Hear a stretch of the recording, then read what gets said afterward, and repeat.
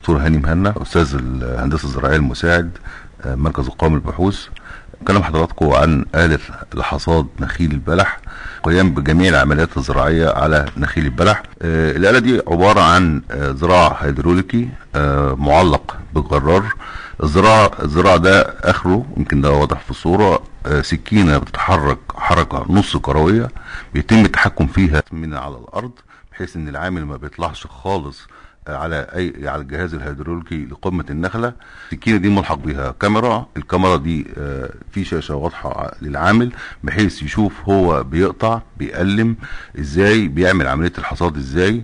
آه، تحت السكينة في اتنين آه، سلتين. السلتين دول بيتم فيهم استقبال أي حاجة بيتم قطعها على قمة النخلة.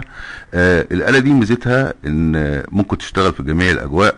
العامل مش محتاج إنه يتسلق النخلة خالص. سرعة أداء عالية جدا يمكن آه، أربع أو خمس أضعاف العمالة اليدوية.